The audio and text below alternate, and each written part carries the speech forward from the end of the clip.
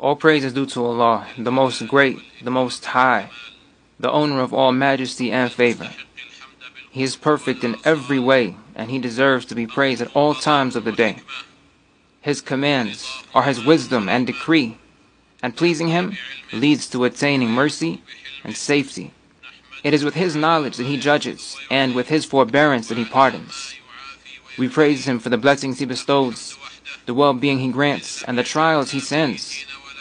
To him alone belongs all praise, for not making us among the deceased or ill, among the peoples who were erased without a trace, among those who forsake the religion he prescribed, among those who make his lordship something they have denied, among those who turn aside from the sound beliefs to which their adherence must be steadfast, or among those subjected to punishments that afflicted peoples of the past. We praise Allah for making us obedient worshipping servants of His. Any argument He has against us is always in His favor, and there is no valid argument we could ever have against Him. We cannot have anything unless He gives it to us, and we cannot protect ourselves against anything unless He protects us. We should praise Him for testing us just as we should praise Him for blessing us. He deserves as much praise as would fill the heavens, fill the earth, and fill all that He wills beyond that. Allah deserves all praise and glorification. That is the most fitting thing a servant of His can say, and all of us are subservient to Him in every way.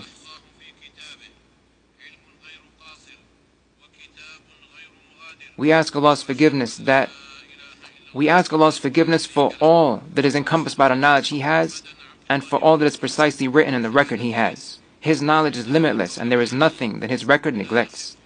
I testify that none has the right to be worshipped except Allah alone, without any partner, and I testify that Muhammad is Allah's worshipping servant and messenger.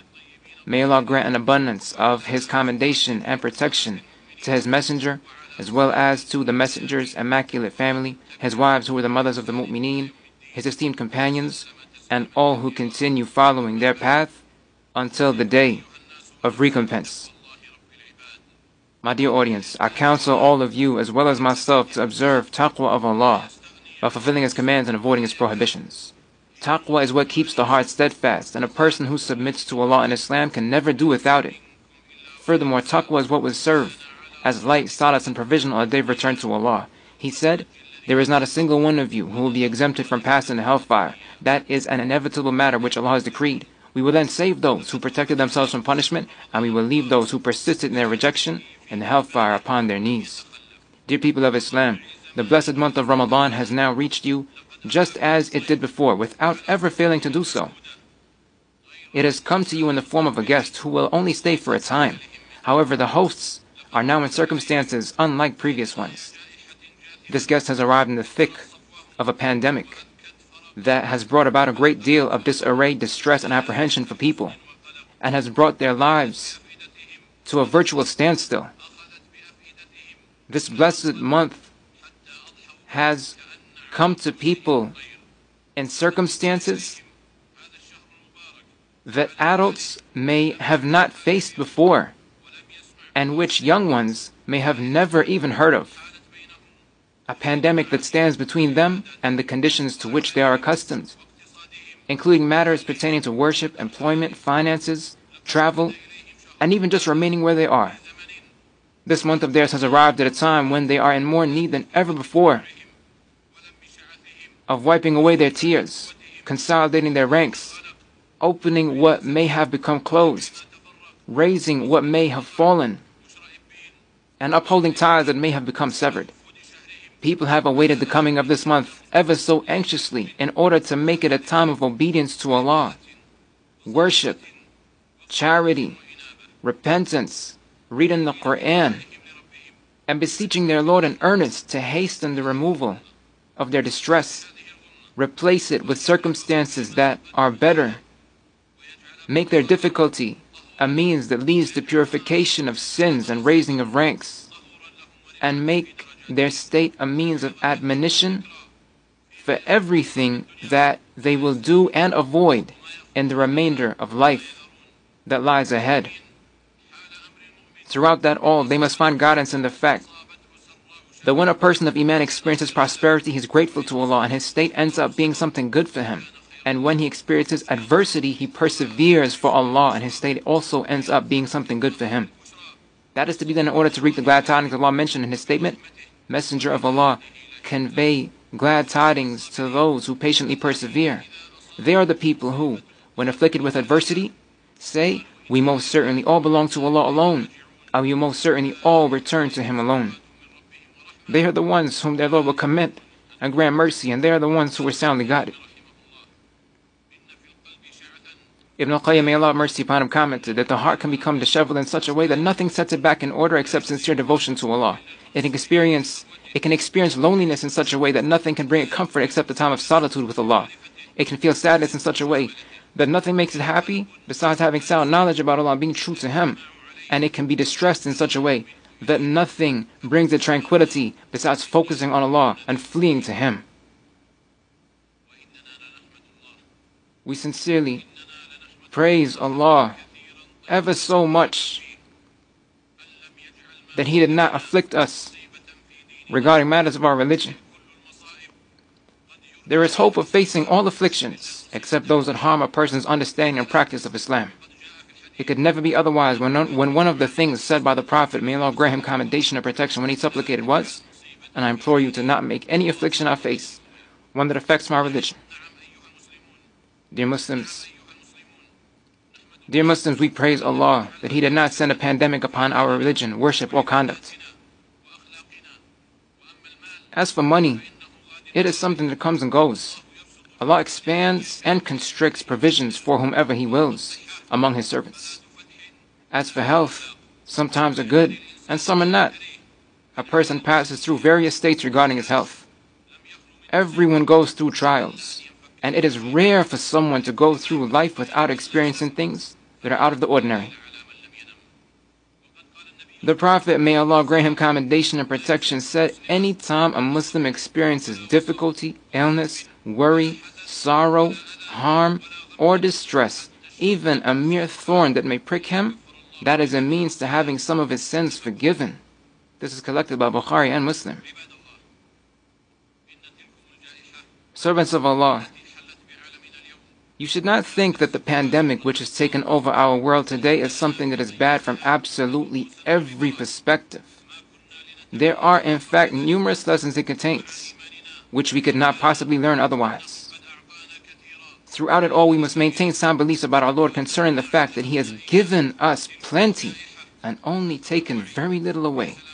The current pandemic has taught us the effect of having awareness about the safety of communities.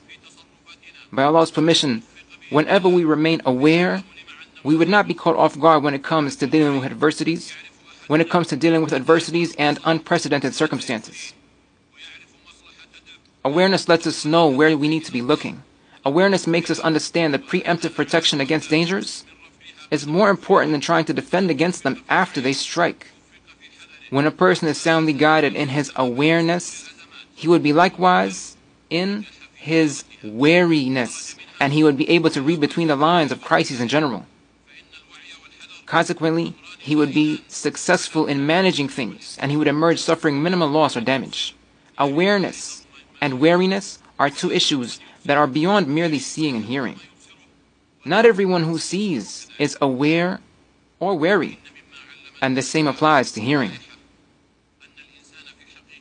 The current pandemic has taught us that people are in fact able to live without many luxuries and non-essentials which they may have previously thought were necessary requirements for them.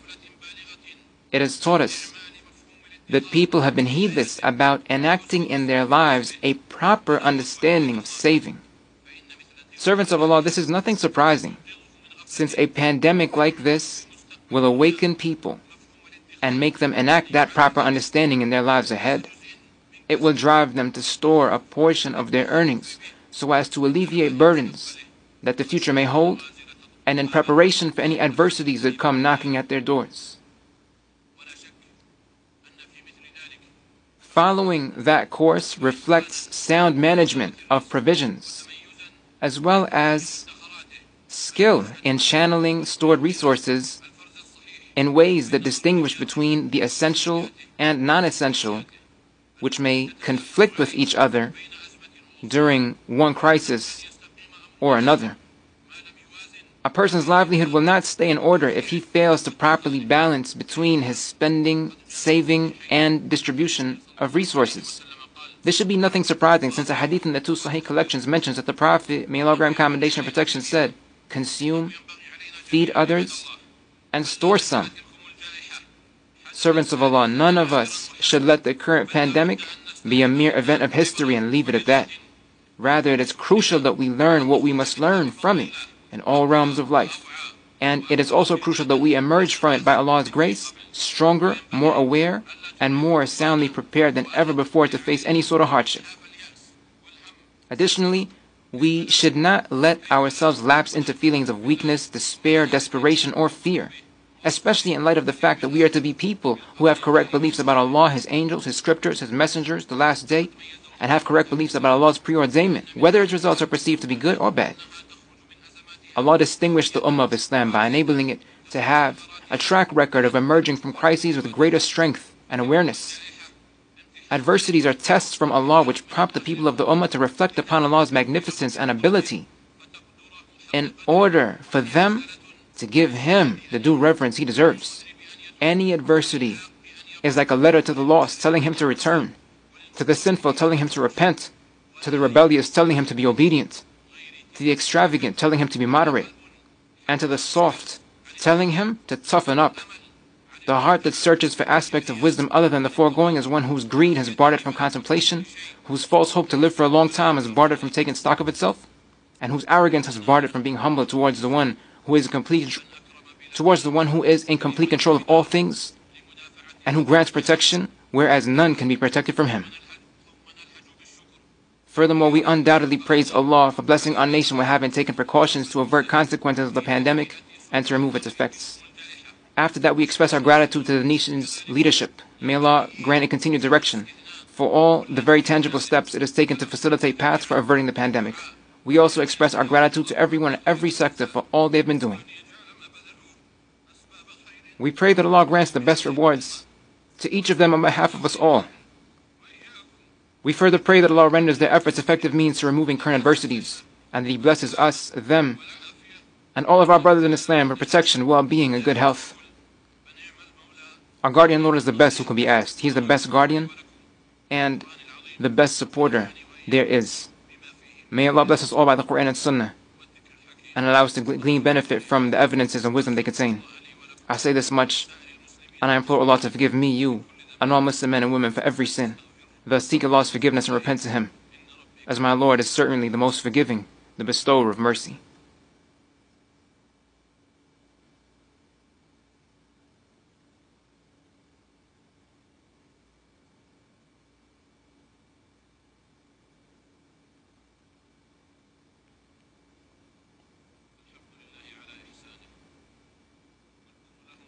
All praise is due to Allah for His kindness, guidance, and blessings. Servants of Allah, you must observe taqwa of Allah, and you must also remember that our Prophet, may Allah grant commendation protection, said, When Ramadan comes, the gates of Jannah open wide, the gates of the hellfire are shut tightly, and the shayateen are chained. Therefore, you must do your utmost to seize the opportunities of this month and take advantage of the weakness of your opponent, about whom your Lord said, Shaitan is certainly an enemy to you. So treat him as an enemy there are many people who understand Shaitan's enmity towards them, yet they still do not treat him as they should treat an enemy. This is major negligence regarding the two sides of that equation, and it can have fatal effects. The struggle between a person and Shaitan would not be an actual struggle unless an individual gives attention to both elements of the equation. Shaitan's blatant enmity towards humans can be undoubtedly understood from him addressing Allah by saying, I will certainly lay in wait for them along your straight path. Shaitan lays in wait for people right upon the path itself, not by its sides, not at its end, and not at a distance from it. On top of that, he does not suffice with attacking them just from the front. He strikes from all sides. He said, Then I will surely approach them from all directions, front, back, right, and left, in order to obstruct them from what is correct and you will not find most of them grateful. Hence, a Muslim remains in a constant confrontation with shaitan, so long as his heart keeps beating in his world. It is a battle whose dust does not settle, and it comes in turns, some for the person and some for shaitan. However, the most heated part of that battle and the time at which a person is his strongest, while shaitan is his weakest, comes during the blessed month of Ramadan. This is precisely why there would be blame and loss in store for someone who neglects to seize such a chance. The Prophet, may Allah grant commendation and protection, said, Jibril indeed came to me and said, if a person reaches the month of Ramadan but is still not forgiven and he enters the hellfire, may Allah expel that person from His mercy. Say Ameen. O Allah, implore you to respond to my supplication. As a result, I said, Ameen. Therefore, you must ensure that you show Allah diligent striving during this month of yours. Although circumstances of the pandemic prevent people from going to the masjid for prayer, that does not exempt anyone from worshipping his Lord in his own home. There is an adage to the effect that people who only know Allah during Ramadan are in quite a bad state. Similar can also be said about current circumstances. People who only know Allah while in the masjid are in quite a bad state. Those are people who do not know Allah in their homes, in their gatherings, and when they stand, sit, or lie on their sides. In a pandemic like this, it will become quite clear which individual it will become quite clear which individual cares to worship Allah while in his own home. In the midst of the current pandemic, this month will contain more free time than before for people to obey Allah. In fact, people of the present time never had a Ramadan that will afford them as much free time as this one. Thus, you must do your utmost to harness that time correctly. No one has any excuse for being preoccupied with other things, since the overwhelming majority of people are currently in their homes. Without any doubt, this is a chance that has been served to us upon a golden platter and it would be terribly unfortunate for anyone to waste it. Additionally, we should not say that the situation we find ourselves in preoccupies us from seizing this blessed month of ours.